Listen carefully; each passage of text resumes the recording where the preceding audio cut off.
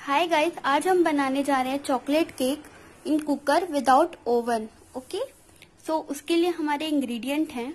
तो केक बनाने के लिए हमारे पास इंग्रेडिएंट है one fourth cup oil one fourth cup milk जो कि वार्म रहना चाहिए, ना कि कोल्ड रहना चाहिए, ना कि hot one cup maida refined flour two tablespoon cocoa powder one fourth teaspoon baking soda one by two, यानी हाफ़ टी स्पून हमने लिया है बेकिंग पाउडर।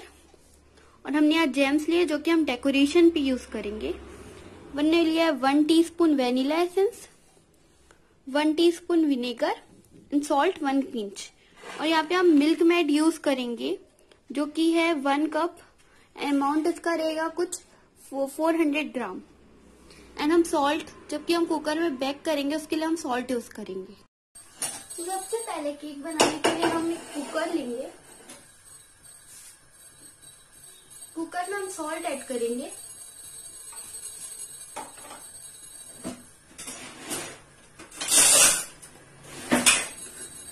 जो कि हम पूरे कुकर में फैला देंगे सॉल्ट को।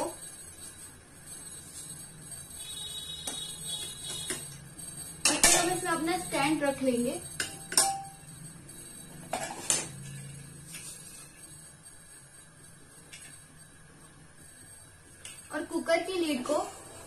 ढक देंगे। दस मिनट के लिए हम इसे इसे ढककर छोड़ देंगे और फ्लेम को मीडियम कर लेंगे।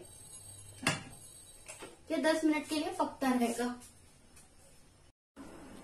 सबसे पहले केक का बैटर बनाने के लिए हम लेंगे मिल्क मेड जो कि है 400 ग्राम का, जो कि हम पूरा ही लेंगे।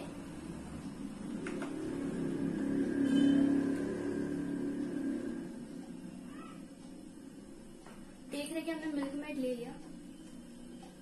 अब हम इसमें ऐड करेंगे अपना ऑयल फिर हम इसमें ऐड करेंगे मिल्क फिर हम इसमें ऐड करेंगे विनेगर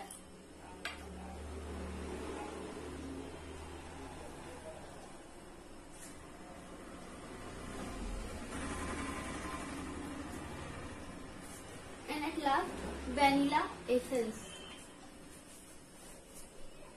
और हम इसे अच्छे से मिला लेंगे, जिससे कि ये बिल्कुल भी अलग ना रहे, अच्छे से मिक्स करना है हमें इसे।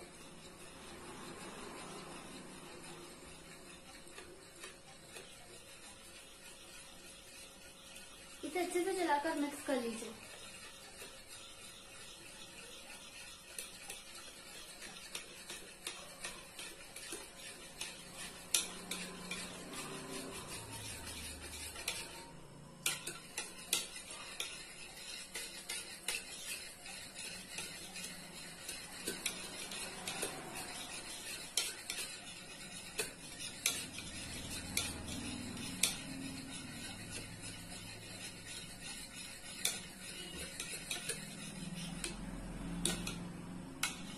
देख रहे हैं, अच्छे से अब मिक्स हो गया।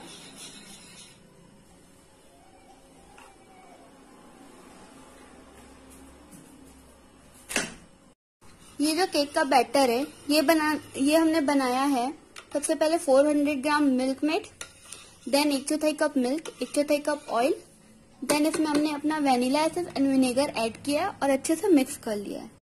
अब हम इस बैटर में अपना मैदा ऐड कर रहे हैं, जो कि हम छान के ऐड करेंगे।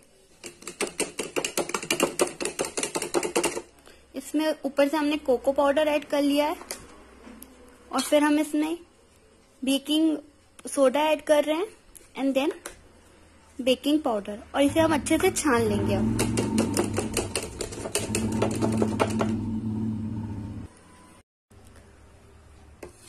सारे हमने आटे को छानकर अब हम इसे अच्छे से मिक्स कर लेंगे। हमें मिक्स कुछ इस तरीके से करना है। राइट हैंड की तरफ़ चलाते हुए। हमें इसे ओवर मिक्स नहीं करना है। उतना ही मिक्स करना है जिसमें ये अच्छे तरीके से मिल आ, मिल जाए।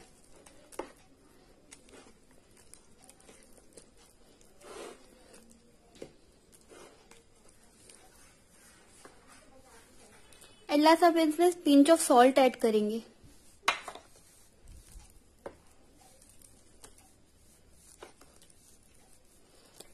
इसकी कंसिस्टेंसी हमने फ्लोइंग रखनी है कि ये इजिली से बेकिंग मोल्ड पे चला जाए। और याद रखें, एक भी गुठलिया या निशान नहीं पड़नी चाहिए इसे थीन करने के लिए या फ्लोइंग फ्लोइंग कंसिस्टेंसी में लाने के लिए हम इसमें मिल्क भी ऐड कर सकते हैं। ये अब हमने अपने बैटर को बेकिंग मोल्ड में डाल दिया है, जो कि कुछ इस शेप में है। ये देखिए, अब अपने अपने केक को बेक होने के लिए कुकर में रख दिया है। और हम इसे लीड लगा के कुछ 40 टू 45 मिनट तक पकने देंगे। कुकर से निकालने के बाद हमारा केक कुछ इस प्रकार दिखेगा और अब अब हम इसे ठंडा होने देंगे। जब हमारा केक रेडी हो जाए, तब हम इसे पलट लेंगे और पलट के हम इसे डेकोरेट कर देंगे जैम से और मिल्क मेड से। तो हमारा केक कुछ इस प्रकार दिखेगा। Thank you